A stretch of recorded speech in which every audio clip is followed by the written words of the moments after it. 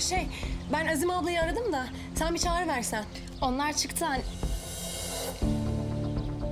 Şey yani Nefise Hanım'la çıktı onlar. e, vi- villaya gittiler. Nefise Hanım'la. Ya ben Azim ablayla konuşamadım da. Neyiniz oluyor sizin? Akrabamız oluyor. Uzaktan mı yakından mı? Az uzaktan çok yakından. Ne fark eder? Ya Nefise Hanım, o neyiniz olur? Kız, Ha, Azim abla? Ne arıyorsun sen burada? E, Azim abla seni arıyorum ben içeride göremeyince. Öyle mi? Neden beni arıyorsun? Tel şehriye bitmiş. Yani Onur Bey tel şehriyesiz pilav yemiyor ya. Hani ben bittiyse bir koşu gideyim alayım dedim ha. Öyle mi? Bir işi de bensiz yap be. Sen şimdi tel şehriyeyi bırak da... Onur Bey kahvaltısını bitirdi. Git masayı topla. Peki abla. Cımcırığın bir karın ağrısı var ya. Dur bakalım. Ağzından laf almaya çalışıyor değil mi? Gir içeri.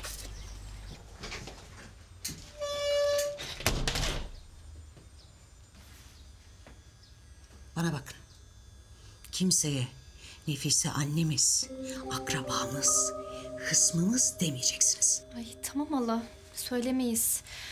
Hatta şey deriz, e, yedi kat yabancımız deriz. Hatta şey deriz ya, bu boyuttan değil ki. Yani paralel evren yolcusu falan deriz ha. Annemle akraba olduğunuzda mı sakladın hala? Sakladım tabii kızım. Mahalleden komşum falan dedim işte bozmayın. Allah Allah. Hadi bizi anladım. Çocuksuz birini arıyorlar diye de sen akraba olduğunuzu niye saklıyorsun? Ya niye saklamayayım? Sizin yüzünüzden sonra işi bırakacak. Kabak benim başıma patlayacak.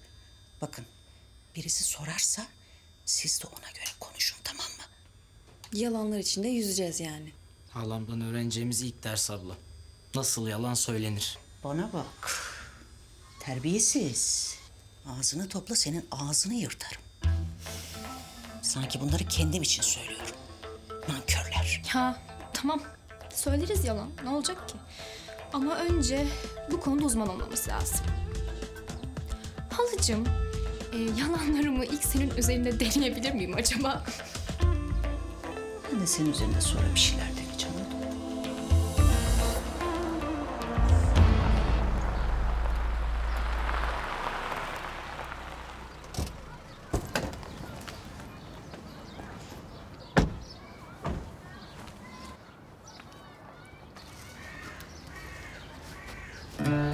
Pardon Muzaffer Bey, biz bu yıkıntıya niçin geldik acaba?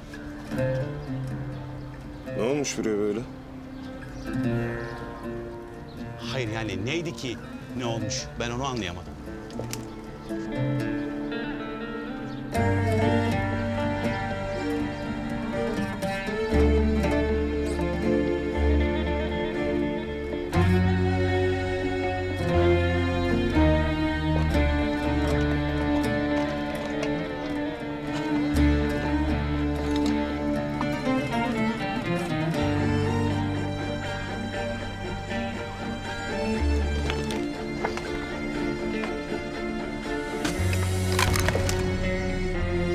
Buyurun beyefendi, birine mi baktınız?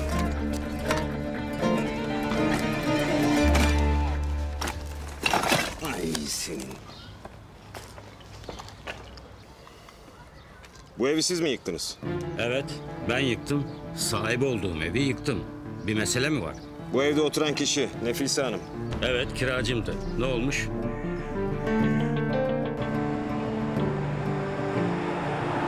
Alo Azime. Muzaffer Bey, Nefise'nin evini yıkmışlar. Dün gece nerede kaldı haberin var mı? e, içiniz rahat olsun Muzaffer Bey.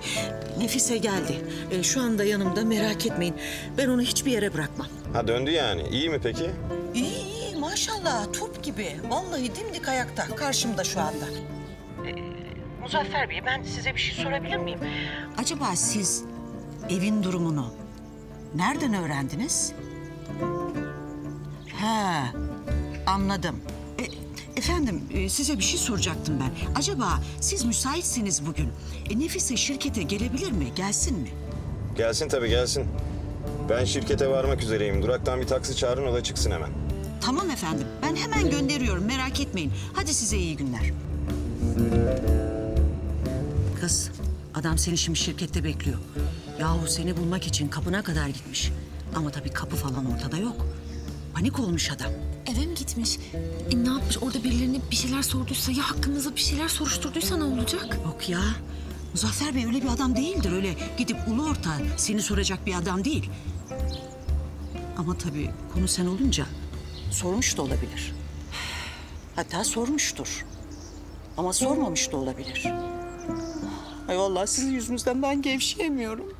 Tamam Azim abla tamam sen rahat et. Dert etme kendine. Hayırlısı neyse olsun artık. Ben razıyım başıma geleceklere şey yapma. Bana bak. Muzaffer Bey çok ketum adamdır ha. Yani bilse bile çaktırmaz. O yüzden çok dikkatli ol. Bana da haber et. Tamam tamam dikkatli olurum sen merak etme. Ben şimdi bir çocukları göreyim.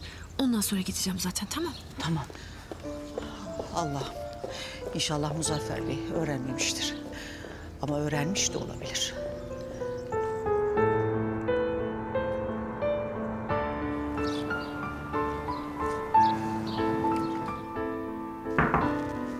Evet. Muzaffer Bey Ha Nefise. Gel gel lütfen. Geç otur. teşekkürler.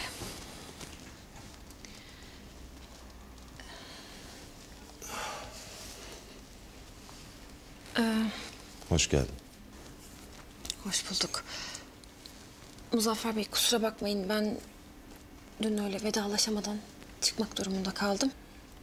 Keşke bana haber verseydin. Evini o halde görünce ne kadar üzülmüşsündür kim bilir. Siz Seni merak ettim. Nasıl olduğunu sormak için evine kadar geldim. Bu arada ruh hastası ev sahibiyle de karşılaştım tabii. siz e, ev sahibiyle mi karşılaştınız? K- Konuştunuz mu yani? Bir şey söyledi mi? Konuştuk. Konuşmak denebilirse konuştuk. Ne konuştunuz? Seni sordum. Belki nerede olduğunu biliyordur diye. Ama densiz herif. İnsanla azarlar gibi konuşuyor. Biraz daha kalsam sarılacaktım gırtlağına. O yüzden fazla uzatmadım lafı. Vicdansız. Kalpsiz adam. Peki. Sen dün gece neredeydin? Neden villaya dönmedin? Ben bir tanıdığımda kaldım. Muzaffer Bey aslında ben size bir şey sormak istiyorum. E, Yani eğer mümkünse Dinliyorum. ben ücretimin geri kalanını alabilir miyim acaba? Ev tutmayı planlıyorum da. E, Sanıyorum tanıtım da bitti. Lansman da oldu. O, işimiz bitti herhalde değil mi? Hayır, işimiz bitmedi. Daha yeni başladık.